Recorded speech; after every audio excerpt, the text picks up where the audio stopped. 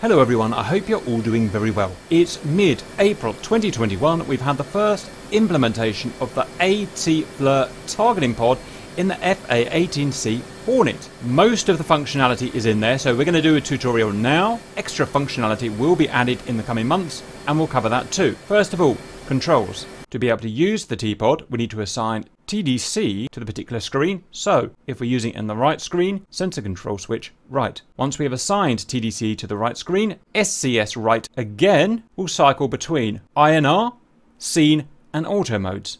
Target designator control TDC left, right, up, and down will slew the T-Pod in those directions, or you can use an axis. TDC depress will either create a target point and or toggle INR mode depending on the situation. Nose wheel steering single press will undesignate a current target.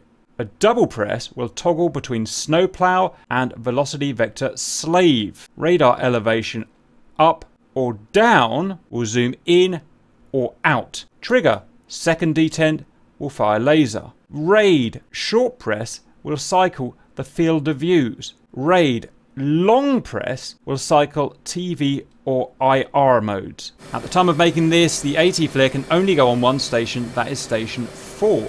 It's suggested that you keep pylon 3 empty in this case to give you a better field of view, but it's not essential.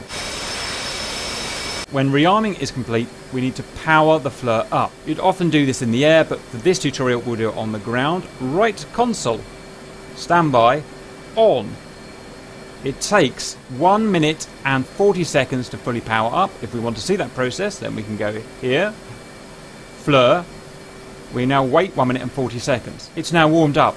The screen is blank because, as standard, the T-Pod is stowed for transit. If we want to actually use it, we need to unstow it. We can do that by setting the T-Pod to either two positions. One, vertical velocity slave, or two, snowplow. We can cycle between those two modes by either pressing this OSB here, that's vertical velocity slave, that's snowplow, or if we were to turn it off or back to standby, turn it on again so it's stowed itself now, we can double press nose wheel steering to cycle between the two. So with our TDC assigned to this screen here, via SCS right, shown by the diamond, double press nose wheel steer, vertical velocity slave, snowplow, and you can happily leave the T-Pod in either of those two modes. T-Pod is now ready for use, let's take off. We're now in the air, the T-Pod is as we left it, the targets are ahead of us at the threshold of a runway there to keep everything simple. We're going to use this T-Pod properly, then let's select air to ground mode. As well as that we're going to play with a laser, so laser designator and ranger arm. When we select air to ground mode we default on the right screen to the air to ground radar, so let's go back to tactical menu, FLIR. Note also that the TDC assignment diamond is gone. We need that back if we're going to use the T-Pod. So in this case, SCS right. We're going to split looking at these functions into four categories. One, initial pointing. How do we get the T-Pod pointing roughly in the right direction of the bad guys to begin with? Two, overall symbology. Three, we're going to look at the different track modes and how to slew the T-Pod around. And four, we'll look at the laser. First, how do we get the T-Pod pointing in the rough direction of the bad guys? We have two methods.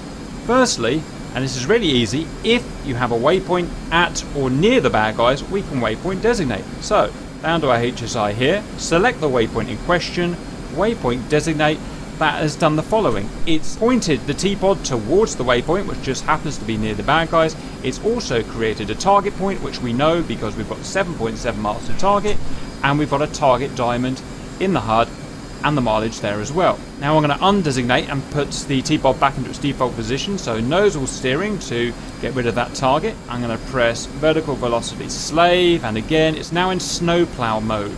Snowplow mode, by the way, just means it's essentially pointed towards the front ahead of us here and slightly down. So the second method is going to be vertical velocity slave. Press it there to box it. This means that the T-Pod always points to our vertical velocity vector, which is shown by that circle there. So all I've got to do now is unpause, put the circle roughly on the target, which I know is at the end of the runway, and when it's there and I can see we're roughly in position, I will press TDC depress. There. what that's done is when I press TDC depress is to again create a target point. You can see 5.8 miles and you can see our diamond there and it's locked the T-pod into that position. It's also put us in our first T-pod mode which is INR which we'll come back to later. OPR. The T-pod is operational. Field of view. We have three field of views we can cycle between. Medium field of view, narrow field of view and wide field of view. Wide field of view has one zoom level, medium and narrow field of view have two zoom levels and you can change those zoom levels with the OSBs here or with the controls we saw earlier. Main mode, do we want it in IR mode like we've got here or TV mode? We're going to try in IR mode. Azimuth and elevation offset angles. So this is currently saying that if I were to slew here, the T-pod is pointing 5 degrees left of where our aircraft is pointing, or 3 degrees right. In terms of elevation, it's 12 degrees down from the bore sight of the aircraft, or 15 degrees down. Similar to that is the situational awareness cube. This guy here, that little diamond, look what happens if I move the T-pod around. It's telling us where the T-pod is pointing in relation to our aircraft in a 3D scope. So, if it's up here, it's pointing ahead of us. There to the left, there behind, there to the right, and if it's in the middle, it's pointing directly down, and anywhere in between. Very important. Next, laser status. The laser is currently armed. Next, reticle symbology. Do we want it showing or not showing? Next is our TDC assignment diamond. If TDC is assigned to the screen, which we need to do if we want to use it, the diamond's there. Next is our coordinates. These coordinates show the lat long elevation in feet above mean sea level and the MGRS grid coordinates of where the T-pod is currently pointing to on the terrain. Next, trigger filter. If we want the laser to operate automatically depending on the type of weapon that we're using, we leave the trigger filter unboxed. If we want to use the laser manually, which we'll do later, we'll have it boxed. Here is the distance to the target, assuming we have a target designated. Here are the PRF laser codes for the laser spot track and the laser designator ranger. We'll come back to those later. Next, setup. Coordinate type. Here we can filter different parts of this coordinate system on or off. iSafe, line, init align and cal, nothing functional here at the moment. We get a grayscale here at the bottom in setup for screen calibration. Get out of setup. Next, we have a declutter. This will remove some of the symbology, give us a better view. Next, our laser spot track. We're going to cover that in a separate video, but you can function or start the laser spot search slash track by pressing that button there and it will search for the current LST PRF you've got there. Next are barometric altitude AMSL in feet, our current Mach, our current calibrated airspeed in knots. When I have IR mode selected, like I do, as default, ALG will be boxed. That's automatic level and gain, and most of the time you'll have that on. If you wanted to configure them manually, you could unbox it and we can now change the level which is 3 and the gain which is 3 by clicking there and you can see that we can now toggle these up and down if you want but I'm not going to do that. I'm going to put it back to automatic. We can inverse the IR polarity. Currently we're on white hot so hot things show as white and vice versa or we can change it the other way around. Automatic focus is not modelled in the sim. Zoom we've already looked at. Next is our northing line. This shows where magnetic north is from the position where the T-pod is looking. So from this position here on the ground, north would be that direction. Very important for your situation awareness. So if I wanted to say there's a bad guy to the east by 100 feet, you know, that's how that would work. Next we move into the center here, lots of symbologies. Velocity vector there. We've got a diamond here which is showing a waypoint, waypoint 1. We've got our target designation diamond here. We've got our yardstick marker here. This would be useful, for instance, if I wanted to measure uh, a particular building, then this is saying at this zoom level, that far across is 48 meters. So I could say that building there is, I don't know, you know, 30 meters or something like that. These ticks here, here, here, here show the outer extent of the next smallest field of view. I'm in medium field of view, so this shows where narrow field of view would be extended to. This bracket here and this bracket here, please ignore, I put them on by accident when I was uh, looking through the symbologies. Next, we're going to look at the four different reticle states, the two different track types, and the symbology involved. So, there are four different reticle states. INR, which is inertial rate, undesignated, INR designated, and then two track modes, scene and auto.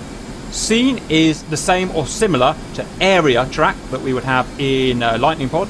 Auto is the same or similar to what we would have as point track in a Lightning Pod. We're currently in scene mode. I didn't mean to do that. To get out of scene mode, I am going to press, because the screen I'm using is on the right, SCS right once.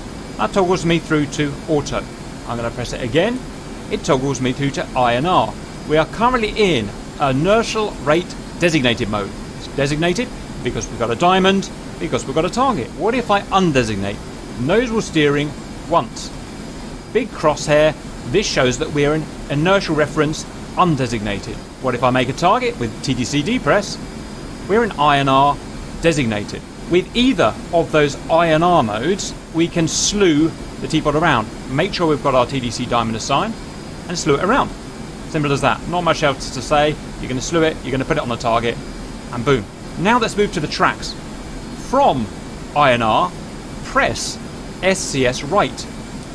We get our first track, a scene track. That is tracking the piece of terrain where the T-pod is pointing. We would use that for weapons deployment on either a static vehicle or static infrastructure, building, whatever. When we're in scene track mode, we can still slew if you see, because you might want to make some minor adjustments. I want to kill that tank as well, so I go back to TV, go to narrow field of view, I'm going to get right there. If I'm going to use area track to hit a vehicle, make sure you aim at the base of the vehicle. Remember, it's tracking the terrain that the T-pod's pointing at, not the vehicle. Now let's try auto mode. SCS right again. We're now in auto mode. Auto mode tracks the actual vehicle, not the piece of terrain behind it. It's picked up that vehicle, it's tracking it. The good thing about auto is it can be also be used to track a moving target. So let's go and try that. I'm going to move from auto back to INR with SCS right. SCS right will cycle through the different modes. I'm going to go and find this guy. Haha! Right, let's, let's usually do this IR with IR mode, but let's try TV mode. Move on to him here. I'm going to cycle to auto mode, SCS right, and we picked him up. And we can now go and drop a laser guided bomb or a Maverick or whatever on that target. We're not going to cover weapons in this video because they're fully covered in the weapons tutorials that we do in relation with the T-pod as well. Now the important thing about auto mode is we can no longer slew the T-pod. Look, I'm banging the buttons up, down, left and right. I can't slew them. It's just how auto works. But there is a way of working around that. And to show you that, I'm just going to get off of the moving target simply because he's going to uh, cause some complications. So we're going to put a point track on this guy here. Sorry, auto track. I'm so used to lightning pod, I keep saying point track, auto, you know what I mean. Try and slew, I can't slew. But I can override that with a press of TDC depress. And look, I get this little crosshair. I can now move on to something else. Oh, hey, I like that tank there instead. SCS right, and it's moved the T-pod to that point there, and we've reverted back to inertial rates designated. Finally, let's go to laser. Right console switch is turned on, as we saw earlier. First, we can change the PRF, the pulse repetition frequencies of these of these lasers here. Currently both 1688. I go to UFC here. I go to the designating laser here. I want to change it to 1588 there. Or the laser spot search, the laser spot track. I want that to 188, 1588 as well. Enter. You can see they've both changed there. If I want to laze manually, I'll box the trigger there. I will press and hold trigger second detent, and you can see when I push and hold that, LTDR is flashing, laser designator ranger, and you can see also this designating diamond also flashes. Press and hold again. That is how I can manually fire the laser, and I'd want to do that for instance if I was buddy lasing and I wanted full manual control of the laser. That is the ATFLIR April 2021. Hope that was useful and see you later.